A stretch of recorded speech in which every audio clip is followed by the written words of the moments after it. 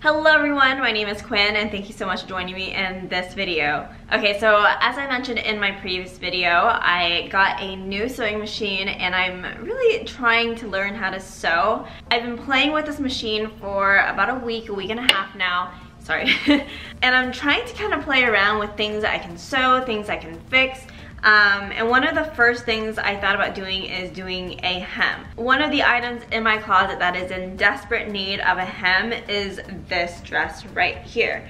Now, for my very first hem, this is probably a little bit more advanced than I would like, but I can't think of anything else right now to hem. This is the dress that I actually wore for mine and Jordan's engagement photo shoot. I ordered this from Lulu's and it got in literally like two days before our actual uh, photo shoot. So I didn't really have time to go get it altered um, and professionally hemmed.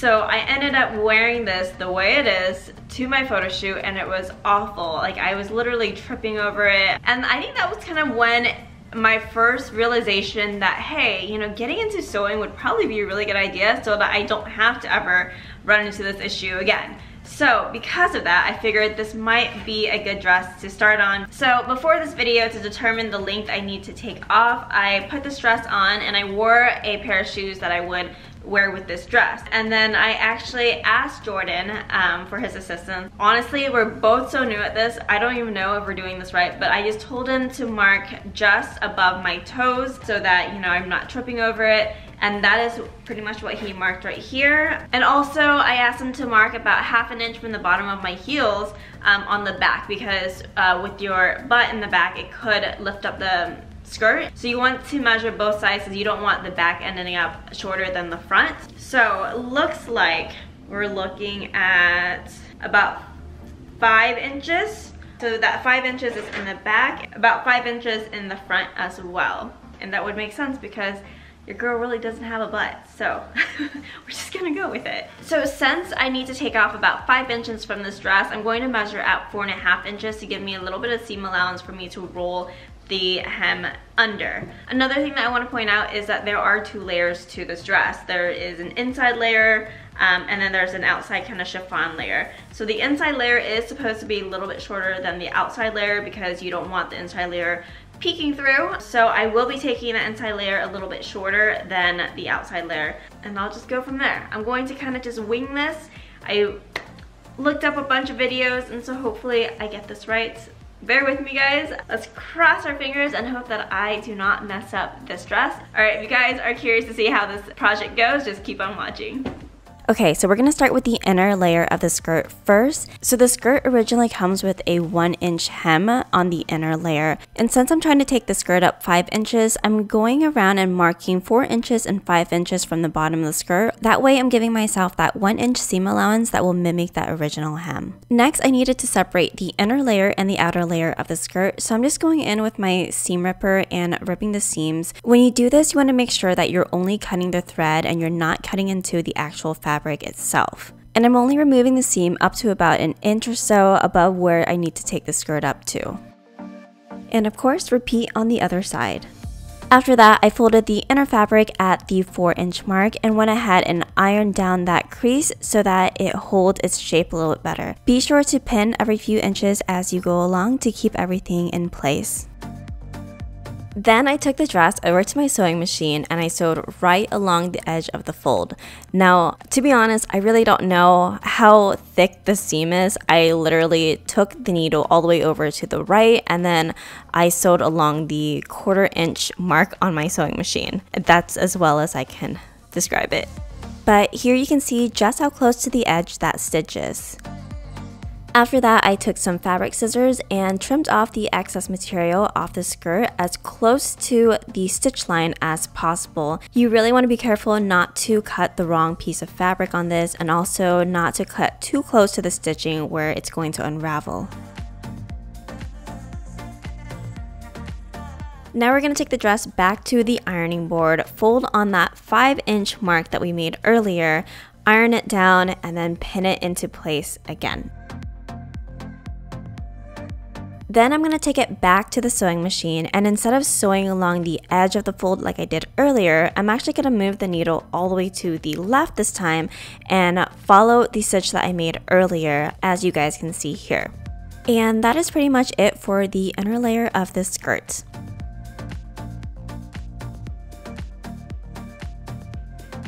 And now I can move on to the outside chiffon layer of this dress. I'm pretty much going to be doing the same thing I did for the inside layer, but since it's chiffon, I'm going to be doing a rolled hem, which only needs about a half inch seam allowance. So here I'm measuring five inches from the bottom and four and a half inches from the bottom of the dress. Then I folded the fabric over at the 4.5 inch mark towards the inside of the skirt. Then I use an iron to press down that crease and pin to secure as I moved along the rest of the skirts. And then back to the sewing machine. Just like with the inner layer, I am sewing right along the crease of this fabric all the way around.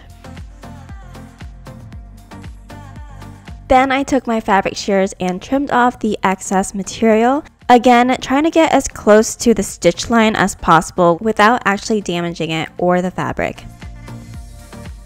Now moving back to the ironing board, I'm folding the fabric at the 5 inch mark, then pressing that crease with an iron, then pinning it as I go along to hold everything in place.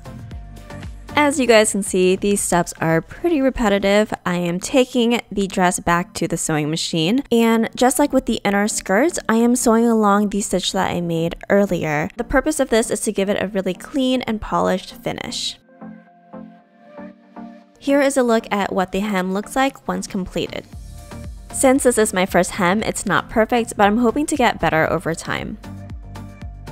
The last step of this project is to sew the two layers back together to clean it up again. For me, I like to put things back together the way that I found them, so I'm trying my best to recreate this seam before I took it apart with the seam ripper. Honestly, the seam was a little bit trickier than I thought because I don't remember how it came originally, so it's a little bit sloppier than I would like, but I'm pretty happy with the end result, especially since no one's really going to be seeing this.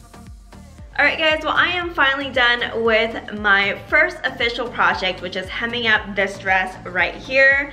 Um, now the reason I chose to do a hem for my first project is because I always thought that hems were supposed to be easy. Unfortunately, um, I didn't think about how much work this dress would be because, let me show you real quick. This is the amount of fabric I cut off of this dress uh, which means this is the amount of fabric that I hemmed. So I had to cut and hem all of this material from the inside layer and then I had to cut and hem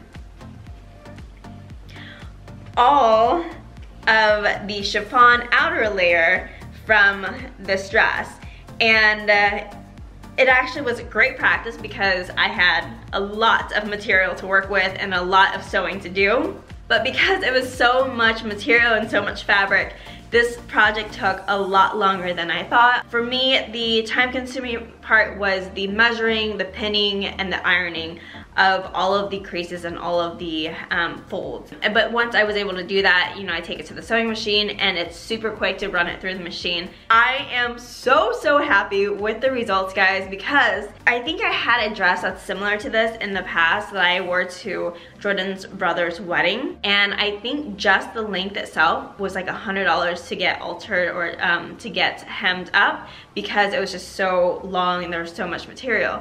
So the fact that I was able to do this on my own and not have to spend $100 was amazing. I love that I'm able to walk in this. Uh, it was it ended up being the perfect length thanks to my fiance Jordan helping me out and measuring where I needed to cut. I tried this dress on. I was able to walk. I was able to twirl. It felt so good knowing that I was able to do all that myself and uh, um, it looked really good too. Honestly, I can't tell that it is like a home hem job.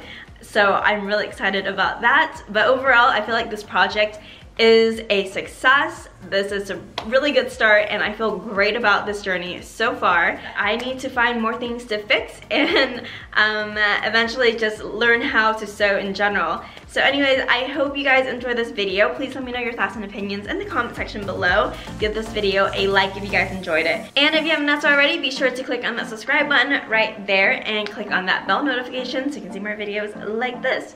I hope to see you in the next video. Bye!